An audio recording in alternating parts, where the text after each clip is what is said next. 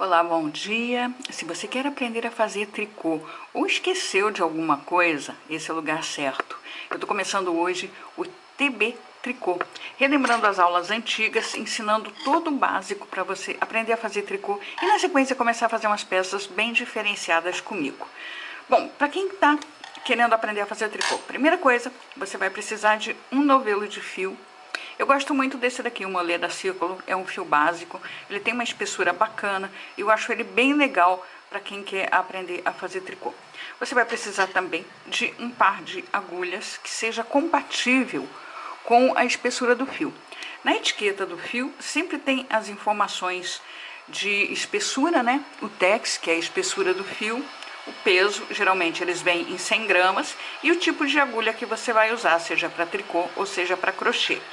Eu estou usando uma agulha um pouquinho diferente aqui, porque é, para gravar ela não me atrapalha. Uma agulha é, normal, uma agulha longa, eu ia ficar batendo na mesa, o vídeo ia ficar chato.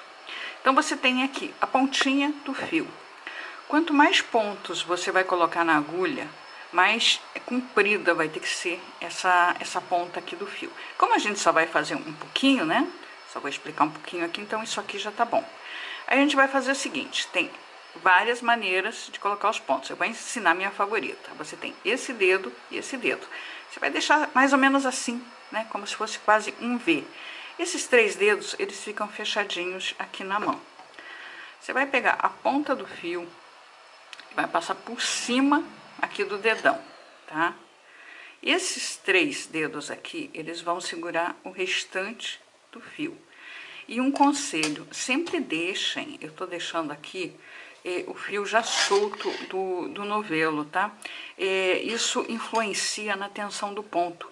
Se o, o, fio ele estiver muito, muito apertado, é uma máquina de costura, fica aquele ponto apertado. E você vai ter que treinar muito até chegar num, num, num ponto que, digamos, não seja nem apertado nem frouxo demais, né? Isso é treino. Então, vamos lá. Passou o fio por cima desse dedo e desse dedo, aqui, tá segurando a gente vai colocar a agulha aqui no meio, tá? A gente faz um V. Ela vai vir aqui, onde tá o dedão, e vai passar por dentro. E ela vai buscar o fio que tá lá atrás. E vai trazer ele, e a gente tem dois pontos já na agulha. Vamos de novo? Essa é a parte mais difícil, depois fica bem fácil, tá? Olha, tá aqui, colocou a agulha aqui no meio fez um V. Passa por dentro e vai buscar o fio que tá lá atrás. E coloca aqui. Pronto. Já tem dois pontos na agulha. A gente olha, agora a gente já tem o V. A gente coloca a agulha aqui por dentro, vai buscar o fio que tá lá atrás, no outro dedo. Já tem. Não deixem apertado demais, tá? De novo, Tá quase acabando meu pedacinho de fio aqui, mas a gente vai fazer de novo. Passa a agulha por dentro e vai buscar o fio que tá lá atrás. E é isso. Pessoal, isso aqui vocês vão ter que treinar, tá? Você vai fazer cinco, seis vezes hoje. Talvez você acorde amanhã e não lembre como é que era. É normal, tá?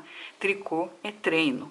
Amanhã já tem aulinha nova. A gente vai todo dia agora, vai ter um vídeo com todo, com ponto meia, com ponto tricô, com ponto arroz, como é que arremata, para que daqui mais ou menos uns 10 dias eu já comece a ensinar a primeira peça da coleçãozinha de inverno, que tem uma inspiração muito bacana. Mais pra frente eu vou ensinar para vocês.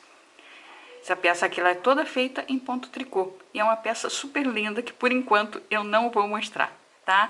Muito obrigada por ter assistido o vídeo, te espero amanhã. Um abraço, tchau!